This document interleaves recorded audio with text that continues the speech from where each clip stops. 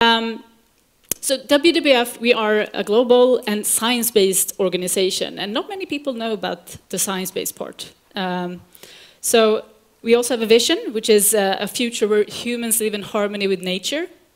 Um, and I mean, we've been working uh, globally with uh, sustainability issues for almost 60 years now, uh, 50 years in Sweden. And I think one of our strengths have been that we are good at uh, communicating science to the masses, making the complex issues uh, graspable or understandable. Um, when the planetary boundaries came out, we were very, very happy. Not all of us, it was like, okay, now uh, this is uh, something new, and I mean, it's a big, large organization, very slow, so it takes a while to understand some things and, and change. But most of us were very happy because uh, WWF, or we are an old organization and we are also used to working in silos. And sometimes we work uh, very much uh, against different departments. So we work with climate change, we work with water, biodiversity, and so on. Uh, and sometimes those departments uh, kind of um, argues on how, how uh, which one should have the most focus and so on. So when the, the, planetary boundaries came out, we were very, very happy because it was more of a holistic approach, which is very, very good. Uh, we're also lobbyists, and uh, one thing that we're, um, uh, we're very happy about was that we can actually use the planetary boundaries as a tool to, to push the policy sector and also the business sector very much. We work a lot with partnerships, and um, we are an organization that really uh, uh, are all about collaboration. So, so the boundaries we're very good at uh, using as a tool to push uh, our partners as well. And this is something I'm very proud of because when I started working at WWF six years ago, I'm from communication, the communication and marketing side from the beginning. Um, we here in Sweden came up with this, One Planet Business because of the planetary boundaries.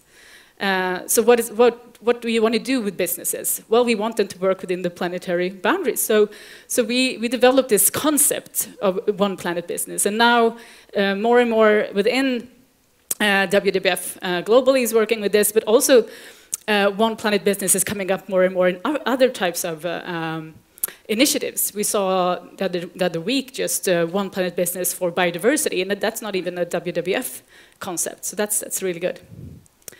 Um, of course, we do reports, we do our own science, or uh, we try to anyway, um, and we have this, our Bible, the Living Planet Report that we uh, publish every other year. Uh, this one came out last fall, and it had a huge impact, and it's all based on the planetary boundaries. Um, so, I mean, we, we are using this a lot within the organization. Uh, we also use it for different types of initiatives to push the business sector, like I told you. Um, we have the Science-Based Targets initiative um, that we're working together uh, with you and also uh, World uh, Resource Institute, CDP, and so on. We, we mean business. And uh, uh, Global Compact. Uh, and that's for climate action. And when we uh, used uh, this initiative, we can actually see that it was so much easier for companies to actually understand why we should work with climate change. It's, before it was like, you should do this and you should you know, lower your carbon emissions. But when we actually said it's based on the science, you have to, you have to do this, and this is the way to do it. This is a, very set methodology. The companies kept, uh, kept coming. And we're very uh, good at uh, trying to um, uh, lobby the business sector to, to actually do something. So that's maybe another strength that we have. Um, oh, the logo doesn't uh, oh, anyway, the logo for Hållbar livsmedelskedja, Sustainable Food Chain, it's another initiative that we have. Uh, where actually Johan Rockström came at the launch. Uh, when he heard about this initiative, he was very happy.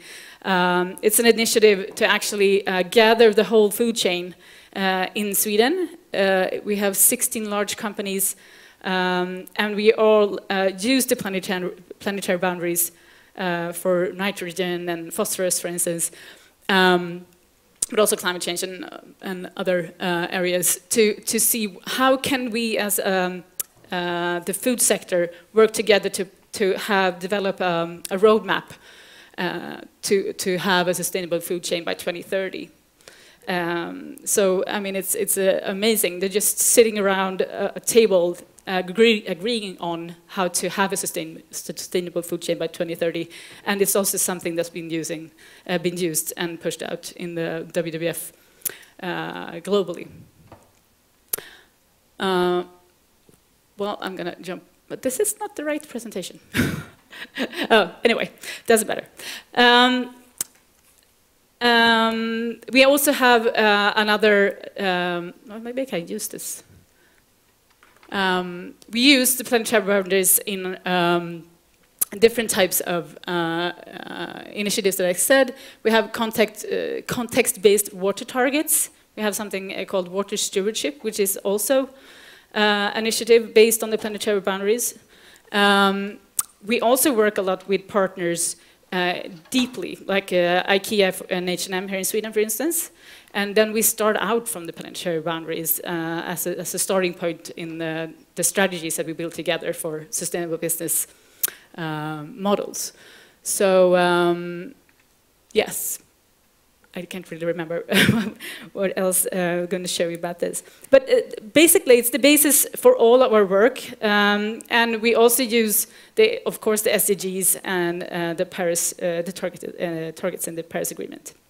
So uh, we use it for concepts, research, collaborations, different types of initiatives, partnerships, um, and also uh, future initiatives that we have going. We have a new initiative called Baltic Stewardship, or it's a working name, where we're going to work with the nutrient sector, um, circulation of the nutrients uh, within the whole food system. Uh, we're going to start off uh, around the Baltic Sea, all nine countries. So that's something uh, you have to keep your eyes on in the future. Um, yeah, and uh, we also use it, of course, as uh, means to, for call to actions and advocacy in different types of uh, way and, and try to get companies to sign and say, hey, you should use the planetary boundaries more, and, and we're behind it, so come on, um, politicians. Now it's your turn to, turn to work with this.